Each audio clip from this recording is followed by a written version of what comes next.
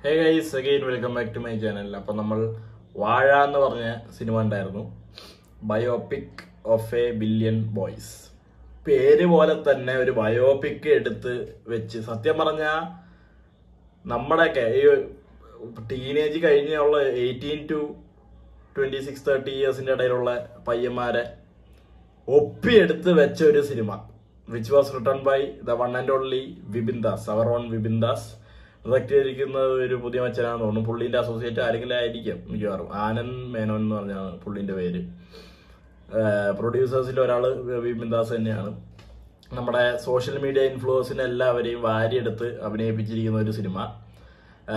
എനിക്ക് എല്ലാവരും ഹാഷിർ ഹാഷിർ എന്നാണ് പറഞ്ഞ് എല്ലാവരും ഓണായിരിക്കുന്നത് ഹാഷിറിന്റെ പേര് കേൾക്കുമ്പോഴാണ്. ഹാഷിറിന്റെ പടം ഹാഷിറിന്റെ പടം. പുള്ളീനെ കാണിക്കുമ്പോൾ കൈയടി വിസിലടി. സത്യം പറഞ്ഞാൽ ഹാഷിറിന്റെ വീഡിയോസ് ഞാൻ കാണുന്നത് വളരെ കുറവാണ്.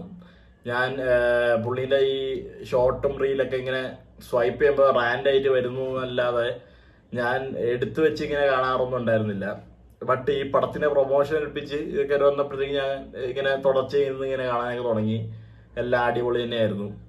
പുള്ളി അടിപൊളി മച്ചാനാണ്. പിന്നെ നമ്മുടെ സിജു സണ്ണി ഉണ്ട്. കോഴ്സ് പുള്ളി കിടിലൻ റോൾ തന്നെയായിരിക്കും.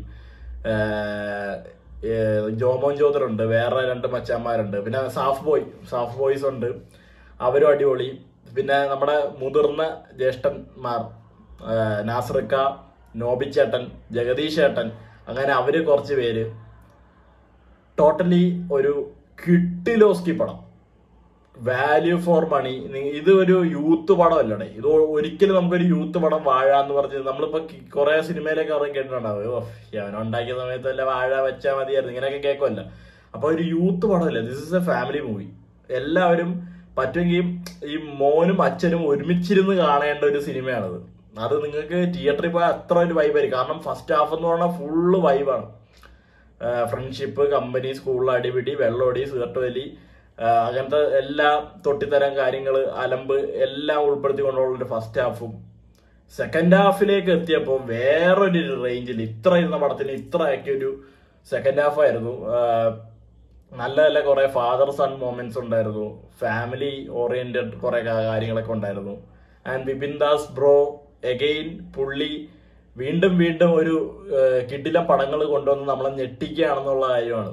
ഗുരുവായൂർ അമ്പലടയിൽ തിയേറ്ററിൽ ഞാൻ ആഘോഷിച്ച ഒരു പടമാണ് ഞാനത് പറഞ്ഞിട്ടുണ്ട്.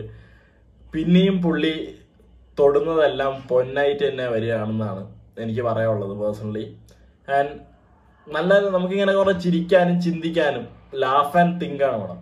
നമ്മൾക്ക് ചിരിക്കാനും ചിന്തിക്കാനും ഒരേപോലെ കാര്യങ്ങളുള്ള ഒരു സിനിമ. എഴുതിക്കുള്ള എനിക്ക് പറയാൻ പറ്റില്ല മനസ്സ് നിറഞ്ഞാണ് തിയേറ്ററിൽ നിന്ന് നമ്മൾ ഇറങ്ങുന്നത് നമ്മൾ കുറെ റിലേറ്റബിൾ എന്നൊക്കെ പറഞ്ഞാൽ ഹൺഡ്രഡ് പേഴ്സന്റ് ഒരു എന്താ പറയുക ഒരു ആവറേജ് ബോയിന്റെ ആവറേജ് പയ്യന്മാരുടെ കഥ അതേപടി ഒപ്പിയെടുത്ത് വെച്ചിട്ടുണ്ട്. പഠിക്കുന്നവന്മാരായിട്ടുള്ള പ്രശ്നം പഠിക്കുന്നവന്മാർക്ക് അവർക്കുള്ള ചില പ്രശ്നങ്ങൾ വീട്ടുകാരുടെ എന്താ പറയുക ഇത് പഠിക്കണം അത് പഠിക്കണം എന്ന് പറഞ്ഞുള്ള ത്രട്ടനിങ് പഠിക്കാൻ കഴിവില്ലാത്തവരുടെ ഒരു പ്രശ്നം അലമ്പി നടക്കുന്നവരുടെ പ്രശ്നം അപ്പോൾ അപ്പൊ എന്ത് അലമ്പ് കാണിച്ചാലും ഒരു സപ്പോർട്ട് നിൽക്കുന്ന ഒരു അച്ഛൻ. ടോട്ടലി കിടിലൻ കിടിലൻ കിടിലൻ. ഹാഷറായാലും എല്ലാവരും ഒരു കിടില ക്യാമിയൊക്കെ ചെയ്തിട്ടുണ്ടേ കൊള്ളാം. സത്യം പറഞ്ഞാൽ മനസ്സിലായി ഞാനൊരു ഫ്രണ്ടായിട്ടാണ് പോയത്. ഞങ്ങൾക്ക് രണ്ടുപേർക്കും ഇഷ്ടപ്പെട്ടു. And the whole audi was on തീയായിരുന്നു. തീ വാറായിരുന്നു. കയ്യടിയും ബഹളവും വിസിലടിയും പോളപ്പം പടം. എല്ലാവരും പോയി കണ്ടു നോക്കുക. അല്ല ഊളൊന്നും പറയില്ല.